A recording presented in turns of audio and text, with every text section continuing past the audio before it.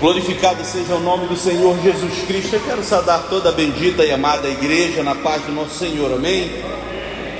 Abra sua Bíblia comigo em Efésios, no capítulo 6, e o versículo.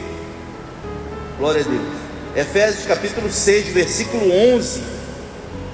A palavra do Senhor que nós vamos meditar em pouquíssimos minutos. Peço poucos minutos apenas para a gente meditar nesse trecho da palavra do Senhor. Efésios, capítulo 6, versículo 11. Todos encontraram? Amém. Glória a Deus. Revestivos de toda a armadura de Deus, para poder ficar firmes contra as ciladas do diabo. Deus eterno, fala conosco, usa-nos, Senhor, para comunicar a tua plena e perfeita palavra Abençoa cada um dos teus filhos e filhas que aqui chegou para aprender, para ser edificado edificada na tua palavra. É o que nós te pedimos em nome do Senhor Jesus. Amém. Podeis assentar, meus queridos e amados irmãos e irmãs, uma breve meditação sobre este trecho aqui. Se eu pudesse dar um título para o que nós vamos falar aqui, eu perguntaria: Você está preparado para a batalha? Você está preparado para a batalha? Há uma batalha no campo espiritual, travado naquilo que você não pode ver, mas que a tua vida espiritual vai sentir. Se você não estiver preparado com alimentação suficiente, para manter o teu corpo de pé, com quatro, cinco dias sem se alimentar, talvez você nem consiga ficar de pé. Sem água, talvez nem chegue a isso. Portanto, a gente se preocupa muito com o aspecto exterior, se preocupa muito com as coisas que se podem ver, tocar, e esquece daquilo que é essencial. Por isso que Paulo nos adverte para que nós saibamos dar prioridade para aquilo que não se vê. Ele manda nós cuidarmos daquilo que nós não vemos, porque aquilo que a gente vê, diz Paulo, é temporal, mas aquilo que não se vê é eterno.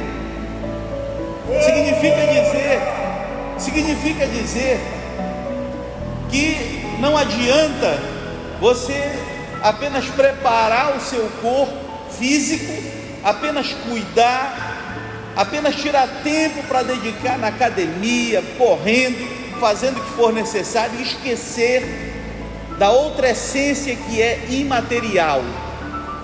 Você é uma tríade, você é uma tríade, formado por corpo, alma e espírito.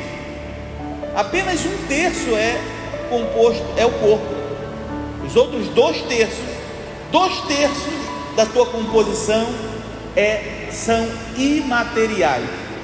Você não pode deixar de lado. Você tem que alimentar a tua alma. Você tem que buscar a direção.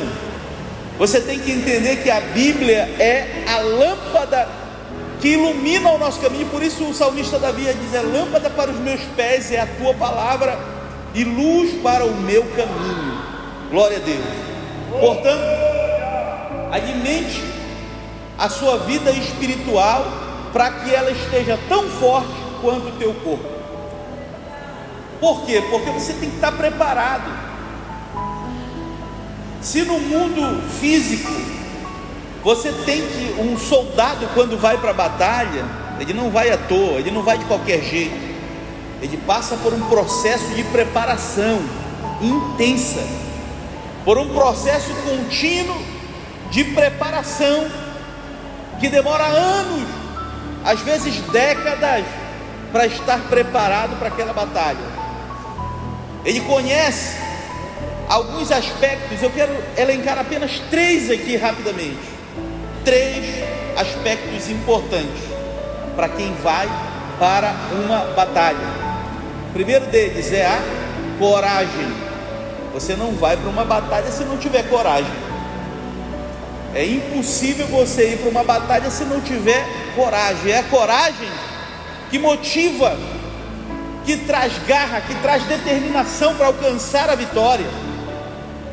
Lembram-se que quando Saul, quando Saul foi se consultar com aquela feiticeira em Endor, a Bíblia descreve isso lá no final do livro de 1 Samuel, no capítulo 30. E a Bíblia diz que Samuel já Deus já não falava mais com ele, o profeta Samuel já havia morrido. E ele resolveu então se consultar com o diabo. Já que Deus não fala comigo, eu vou me consultar com o diabo. E ele então procura aquela feiticeira, aquela feiticeira, sem perceber que se tratava do rei Saul, que estava disfarçado a feiticeira pergunta para ele: Tu estás tentando fazer algum tipo de armadilha comigo? Porque tu sabes que o grande rei Saul mandou matar todas as feiticeiras do reino. E por que tu vens a mim agora perguntar se eu posso fazer alguém que já morreu falar contigo? E ele então mostra quem ele é. A feiticeira cai por terra pedindo súplica para não matar.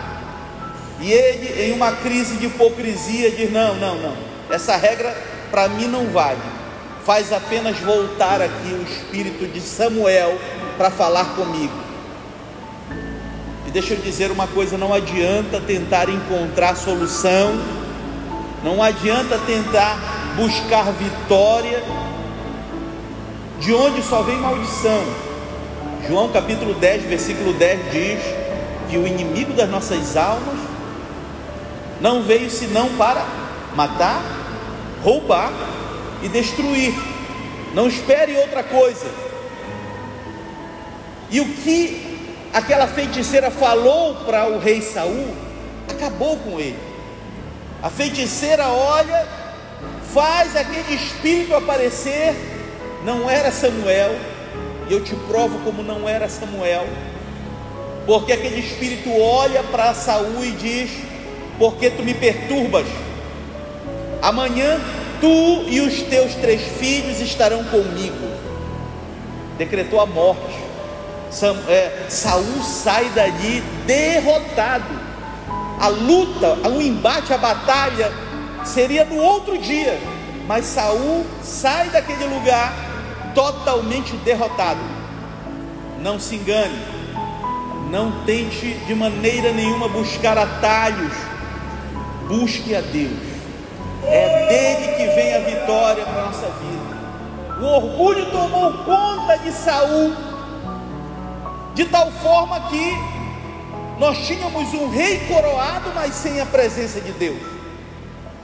De outro lado, nós tínhamos Davi, sem coroa, mas escolhido por Deus, sendo, sendo perseguido por Saul a Bíblia descreve em 1 Samuel capítulo 23, versículo 24 e 25, uma sucessão de perseguições em que Saul sai com 3 mil homens perseguindo Davi e os seus homens de caverna em caverna naquela região de Engedi.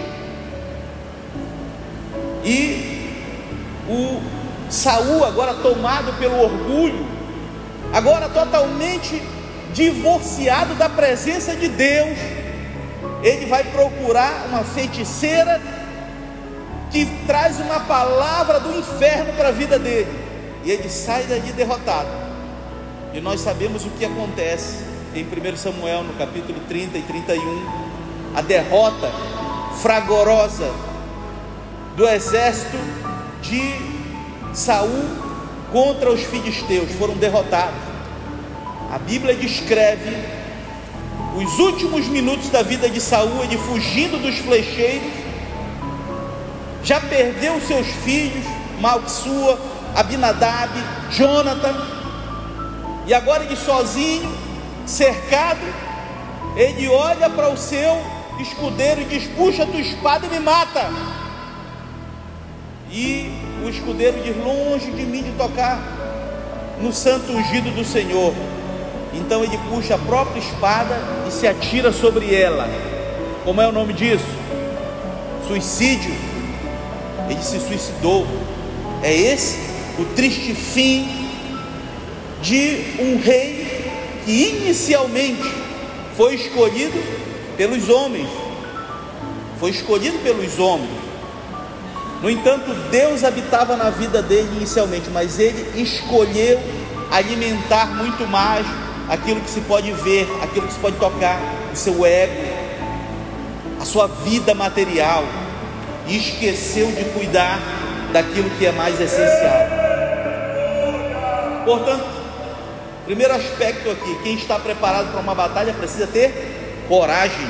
Coragem tem a ver com iniciativa irresignada, convicta e persistente para continuar buscando a vitória. Se não houver isso, a pessoa já entra no campo de batalha derrotado. Tenha coragem.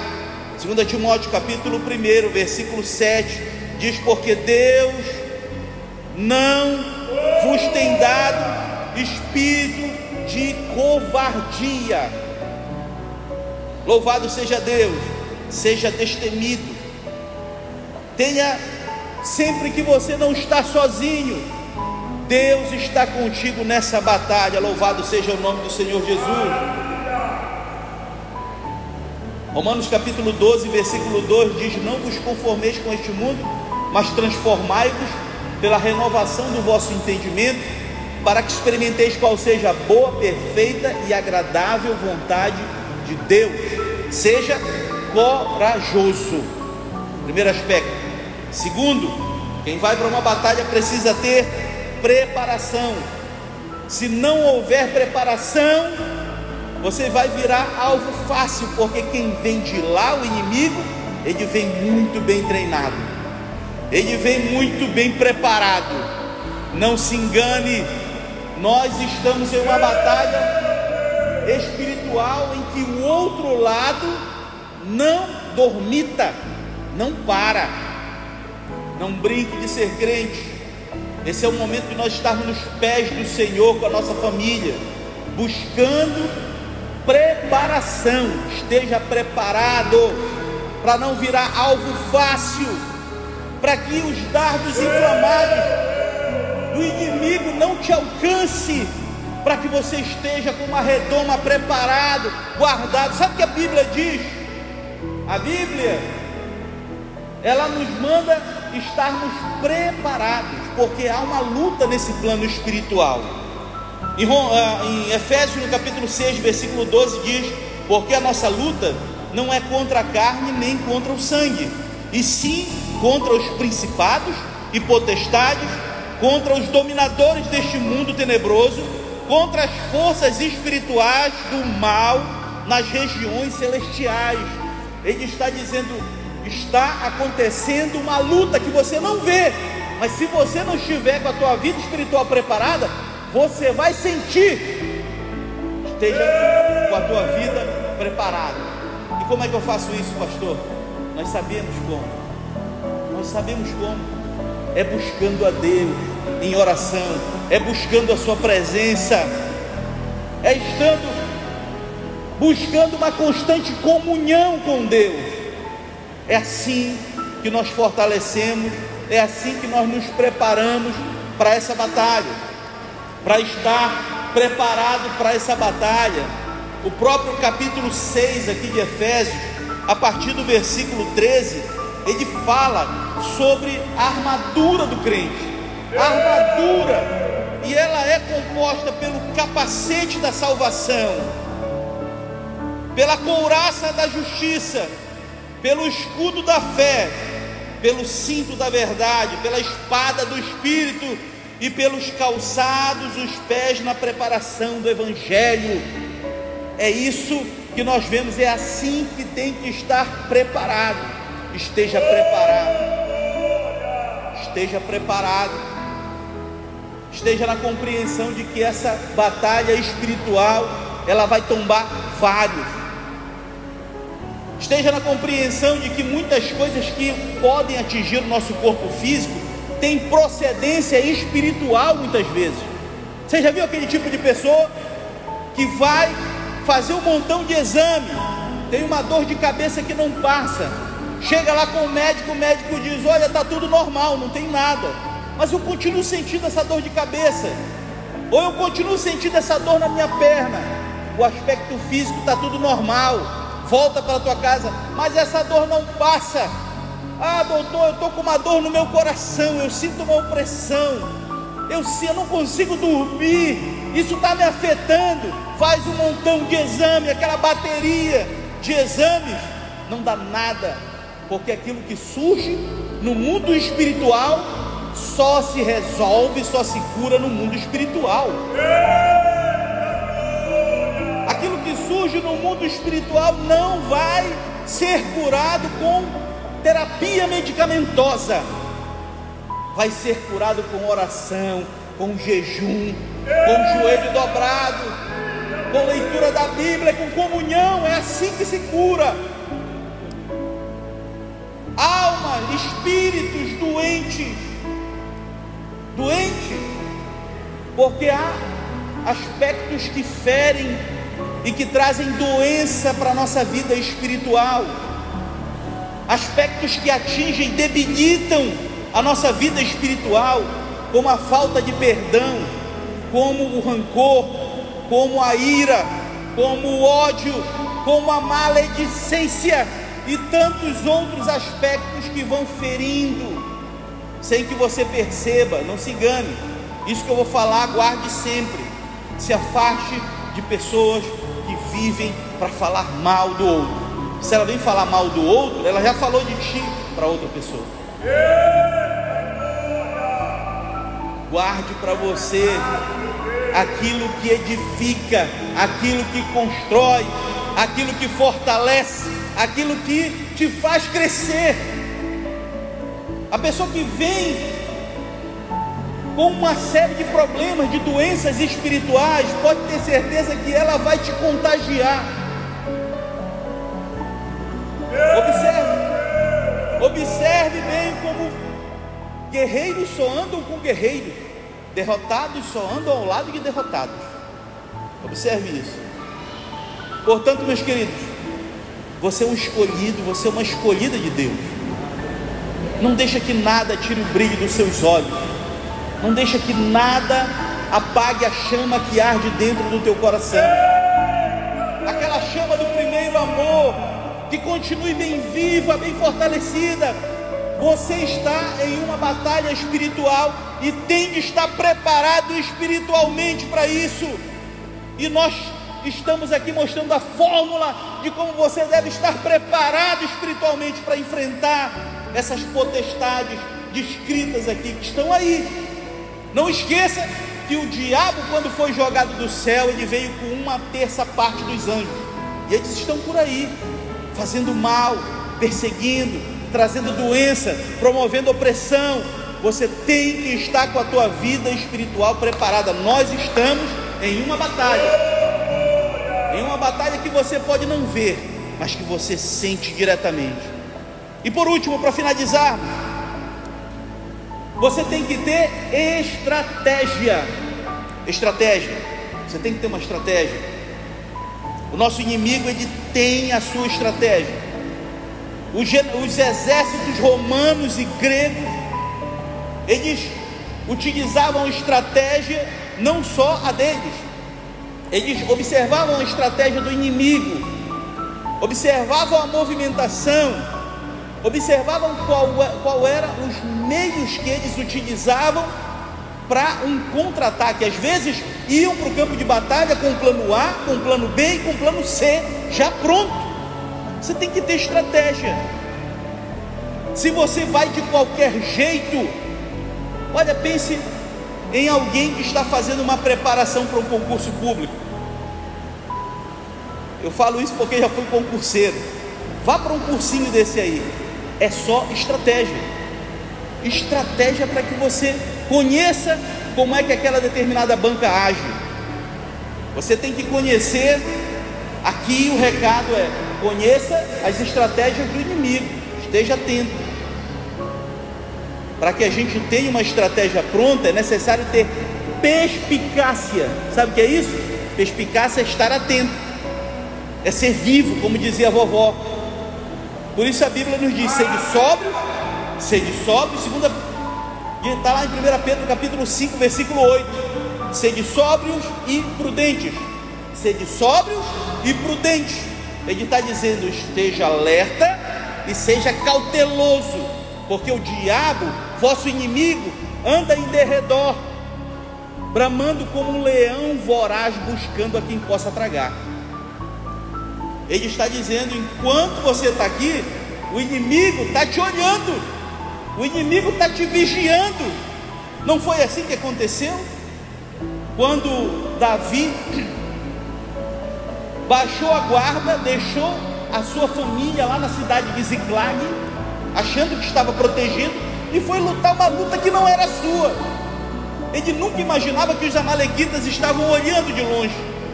E quando ele se afastou com seus homens, deixou a sua família desguarnecida. Os amalequitas vieram, destruíram a cidade, queimaram Ziclag a fogo e levaram todos como escravos. Por quê? Por falta de cautela, falta de prudência. As coisas que acontecem quando a pessoa tem perspicácia no âmbito espiritual, ela consegue antever as coisas. Ontem eu pregava aqui nesse púlpito. Ontem eu pregava aqui nesse púlpito e falava sobre o exemplo de José, lá em Gênesis capítulo 39, versículo 11 e 12. E dizia que o trecho anterior diz que a casa de Potifar, naquele momento, não tinha ninguém. E por que José foi para ali sabendo que não tinha ninguém? Você entende que há coisas que a gente precisa evitar para não ter que fugir depois? Foi o que aconteceu com José. Quando você age com perspicácia, você evita problemas de forma antecipada. Isso é uma estratégia. Tá? Até porque eu já disse aqui vou repetir. A Bíblia manda resistir contra o diabo. Tiago 4,7 diz: Resistir ao diabo e ele fugirá de vós. Mas contra os desejos da carne, lá em 2 Timóteo capítulo 2, versículo 22, diz: Foge das paixões da carne. Portanto, contra aquilo que você vai sentir dificuldade para lutar, é melhor até evitar. Seja estrategista. Portanto, a estratégia é importante. E para finalizarmos aqui, eu quero dizer que você tem que estar preparado preparado com a armadura, com as seis peças da armadura. Fica de pé, eu quero orar por ti. Eu quero orar para que Deus fortaleça a tua vida espiritual. Para que não haja nenhuma brecha no teu muro espiritual. Para que a tua casa e a tua família estejam protegidos debaixo da mão do Todo-Poderoso. Para que nada venha atingir o mundo aí fora está em colapso moral. Nós vimos o que aconteceu recentemente lá nas areias de Copacabana. Esteja atento, não é tempo de nós estarmos dormitando, não brinque. Redobre, redobre a sua atenção com a sua família. O seu filho, a sua filha neste momento podem estar sendo alvos de uma estratagema do inimigo para afastar o teu filho, a tua filha, a tua neta, o teu neto da casa de Deus.